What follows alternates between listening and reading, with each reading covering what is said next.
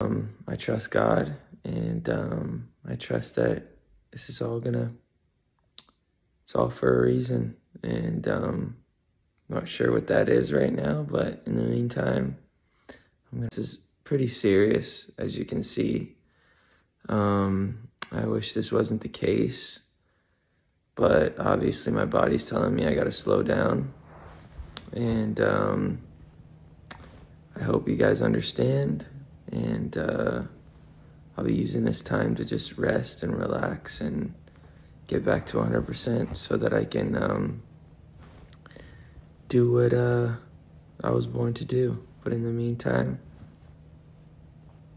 this ain't it. I gotta, I gotta go get my my rest on so that I can get my face back to where it's supposed to be. Um, I love you guys. Thanks for being patient with me.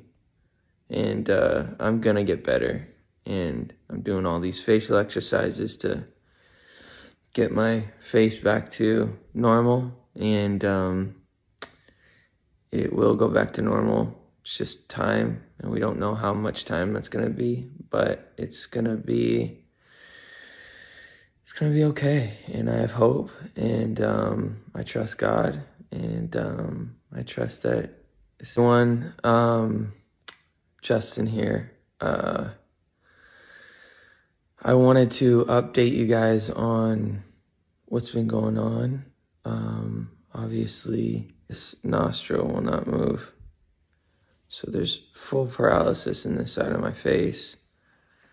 So for those who are frustrated by my cancellations of the next shows, um, I'm just physically, obviously, no time, and we don't know how much time that's gonna be, but it's gonna be, it's gonna be okay, and I have hope, and um, I trust God, and um, I trust that this is all gonna, it's all for a reason, and um, not sure what that is right now, but in the meantime,